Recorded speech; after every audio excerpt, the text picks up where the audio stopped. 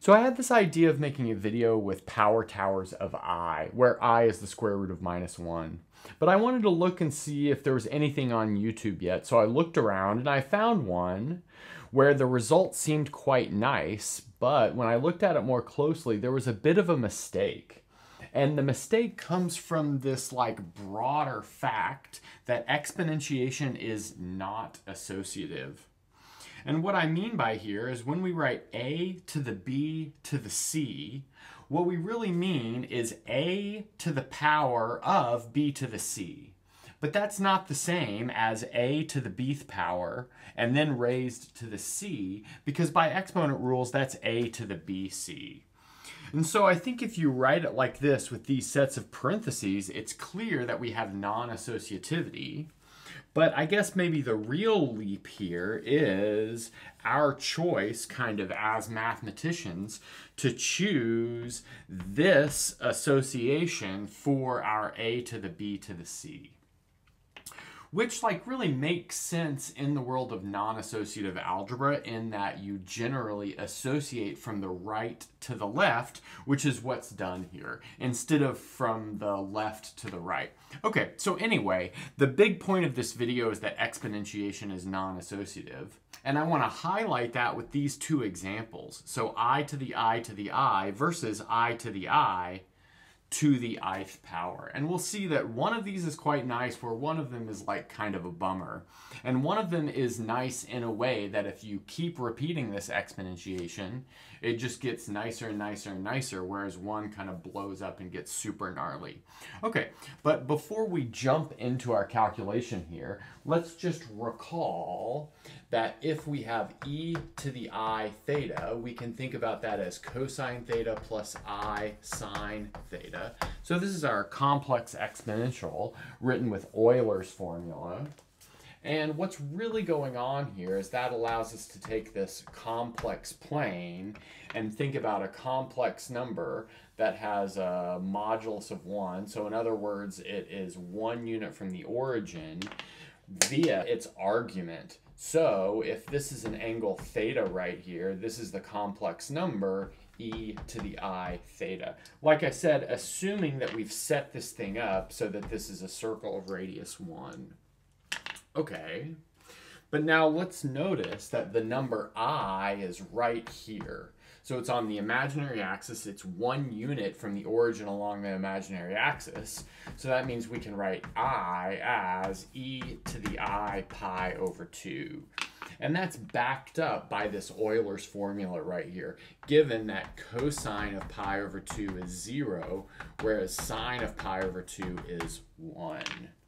Okay, but this is like essentially the big trick in order to calculate these power towers of i is to use this polar form.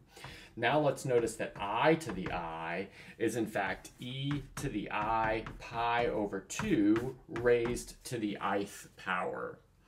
And the important thing here is we're rewriting this i that's in the base as e to the i pi over 2, which sets up our associativity where we have parentheses around this. But now we can use exponent rules to write this as e to the i squared times pi over 2, which is e to the minus pi over 2. Now there are a couple of videos on YouTube calculating i to the i and getting e to the minus pi over 2 that have millions and millions and millions of views. So this is a famous result. But now we can piggyback off this result to highlight our non-associativity of this complex exponentiation, well, really any exponentiation. Okay, so let's do this one first.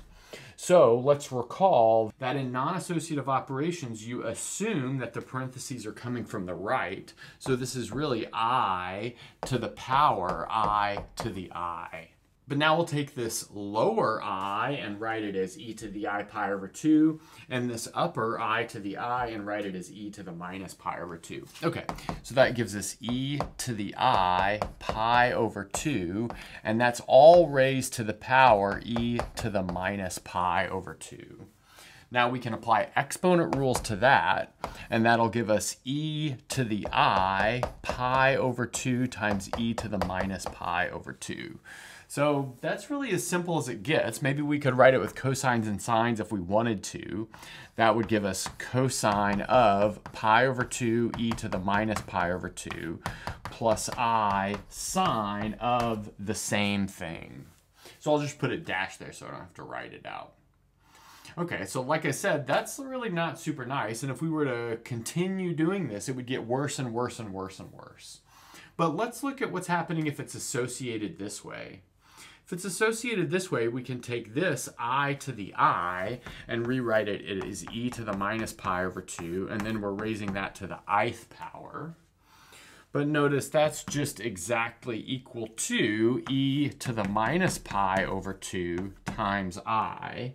But if we look over here, that goes down here to the number minus i, given the argument here is minus pi over 2. So anyway, here we get minus i.